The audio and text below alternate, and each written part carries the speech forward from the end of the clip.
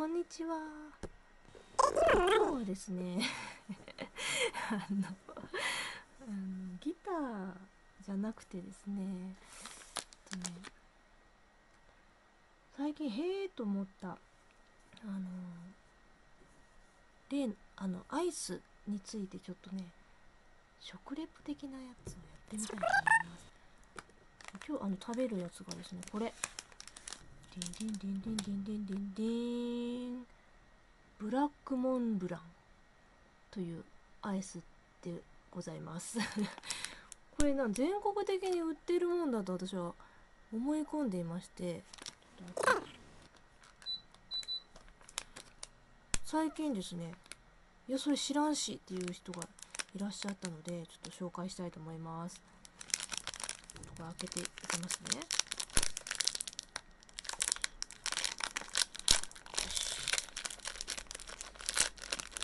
ブラックモンブラン。どんな感じになっているかと言いますとディンディンディンディン。ディンおっと。はい。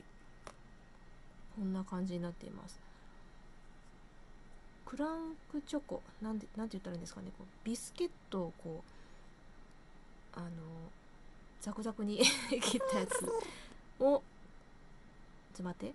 あのね えっとちょっと一口食べますね。これバニラアイスをあらチョコレートでコーティングした上からかな？クッキーをね散りばめてます。下手くそすぎるけど。あのわかります？伝わりますかね？だからこのザクザクした感聞こえますか？ザクザク。ザクザク感がたまらなく美味しいんですよね。こんな感じになっております。これ食べる時にこポロポロこぼれがちなのでこれやっとってもこうやってこぼれる。あのなんかこうお皿がお皿というかなんか受け皿が必要ですね。気をつけて買うてく。ださい美味しい。ほら今落ちた。うん。うん。もうザクザク美味しい。あのこれ一回り小さいんですけどコンビニとかで行ったらこれ倍ぐらいはあるかな。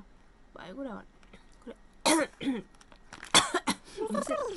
えー、あのこれ箱買いして箱に7本入りで2300円かな。7本入りのやつをあのスーパーで買ってきたんですけどコンビニでは一つ一つバラ売りで大きめのやつが売ってます。でなんかですねこれ当たり外れがあるんですよね。食べ終わったこの棒のところに当たりとか書いてあったと思います。当たったことないでよ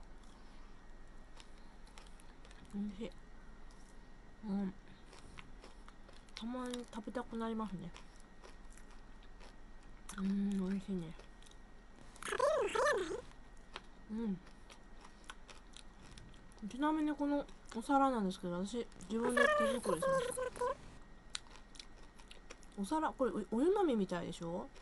本当はね作る時はですねお茶碗を作りたくて。もうちょっと大きくなる予定だったんですけどなんか焼いたらちっちゃくなっちゃって。結局お茶入れて飲んでますね。うん余談ですけど。めっちゃ美味しい。うん。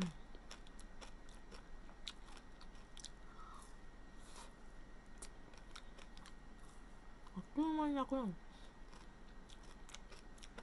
ん、最近暑さが尋常じゃないほど暑いので皆さんね。熱中症など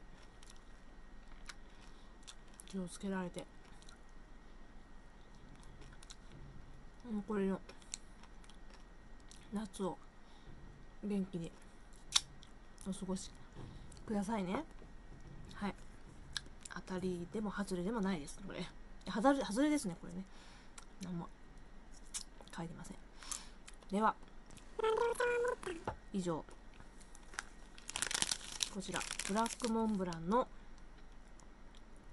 紹介でした。はい。またね。